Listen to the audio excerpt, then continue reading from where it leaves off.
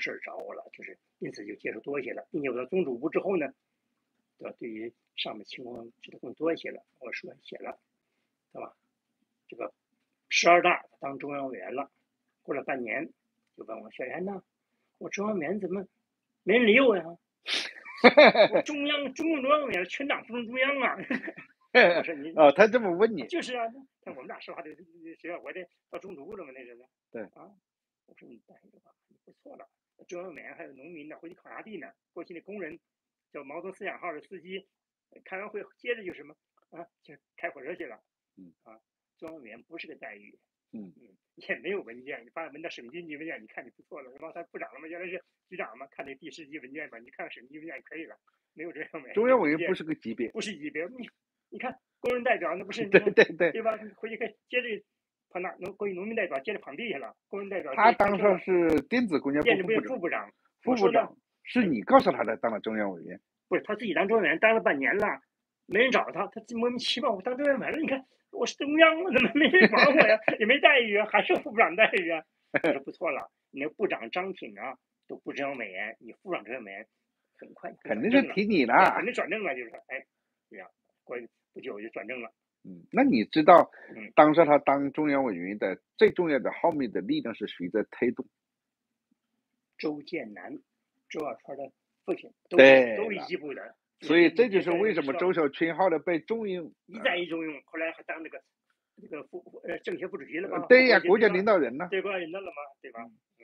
所以你啊，就是六日的时候啊，不该走，在关键的时候啊，走在历史正确的一边对，然后就付出了代价。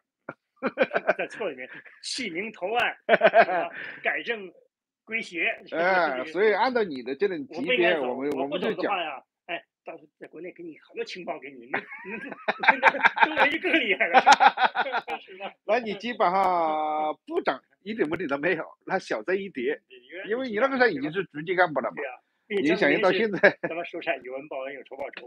对呀、对呀、你那个弄得不好，搞一个国家呃什么领导人，你别嫌弃你，嫌弃你说的啊，混以时日复国君，那谈不上。啊，但是有一条，他到北京之后吧，嗯，我那关系的，对吧？人家说所有的红二代都有些关系，但像我那么硬的关系不多。对那即陈是云家真我如履平地啊，对啊，陈云，呃，一一木一个木，然后五个孩子，他们家都特熟啊。你看，你看我书本写了，咱们家随便就就走嘛。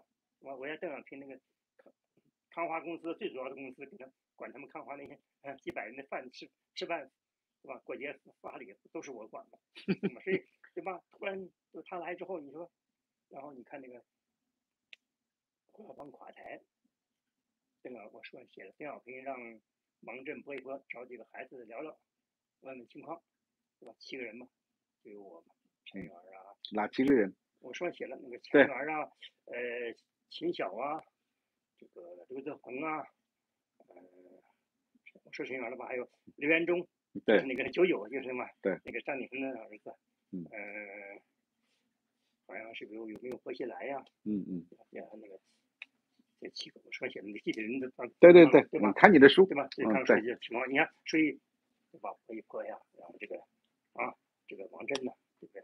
嗯啊，然后加上这个嗯，宋日雄啊，八老的是吧？嗯，然后呢，后来对吧？那个又跟我太太恢复关系之后呢，邓颖超呢，你看对吧？也是这个嗯不不不找我事儿了，已经关系恢复了是吧？所以按理讲，像我在的话，嗯，各那个各种关系的话，啊，对应该有有帮助的，对吧？呃，因为你的你的岳父岳母比你爸爸还级别高，高多了。高到什么程度？他在陈独秀的秘书，你看当时八级会议和这个五大，他是就是主持啊主持，反正是肯定的。嗯。然后这个邓小平，他是邓小平是中央的秘书长，岳父是秘书处长。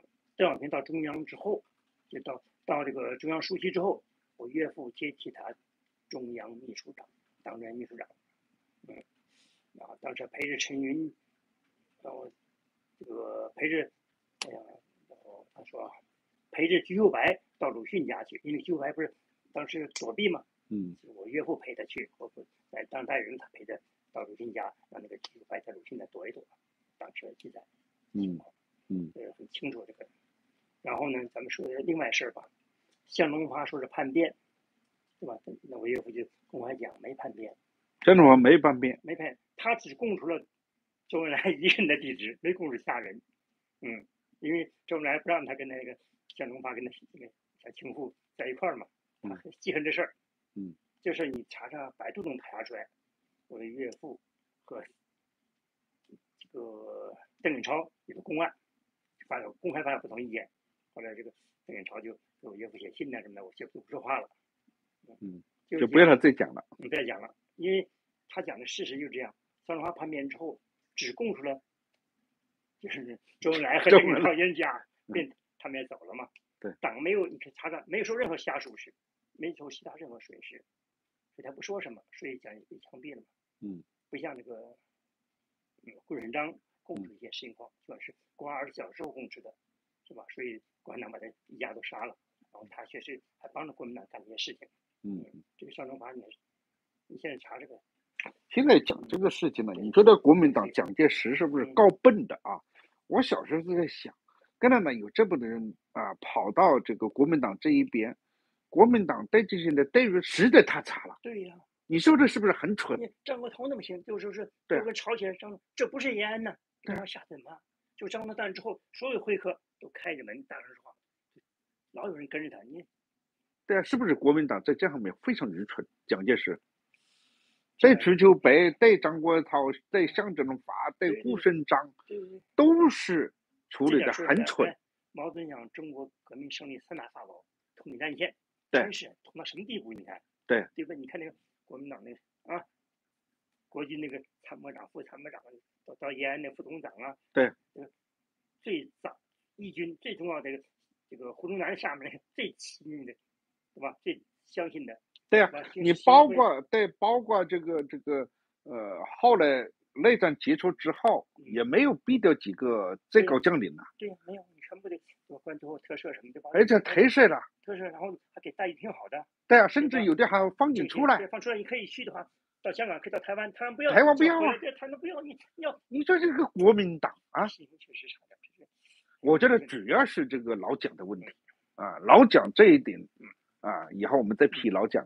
这这这如果不是我很生气，你这个老蒋如果把这个国民共产党一些人搞过来，你至少长江以南给我们守住啊，对吧？我们这些。啊，也应该生活在委屈啊，是不是啊？不要说共产党同志啊，结果我到这个台湾很多次，我就没去看什么老蒋什么什么安葬在什么地方什么的。我还早几年我都去他什么士林的地方，我对他就没有什么兴趣。我觉得他这这这脑子基本上是不清楚的一个人。这两天是共产党一些毛在革命，就他革命胜利之前就心里光光，什么人要，但但在。这个打了江山之后，那另那那那另回事儿，对吧？对。但是之前你需要这样。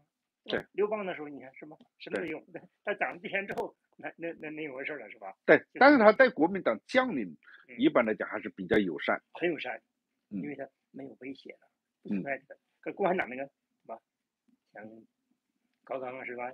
到时候说把他 他底儿给透了，那不不能留着，是吧？类似的。对。反正还就是那个事儿吧。对对，好。